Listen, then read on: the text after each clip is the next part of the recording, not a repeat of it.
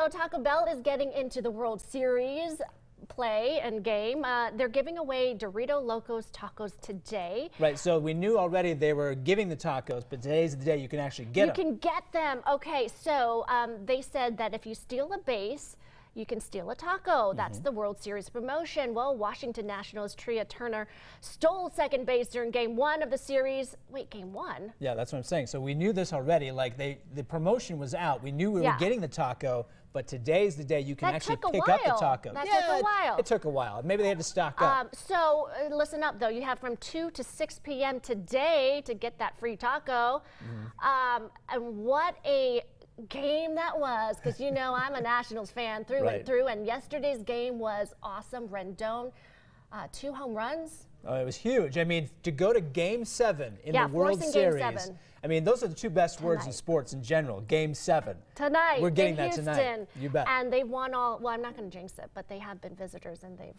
you know. Right. Of I'm course. not going to say anymore. We'll have the highlights on ABC4 News at 10 tonight of the World Series.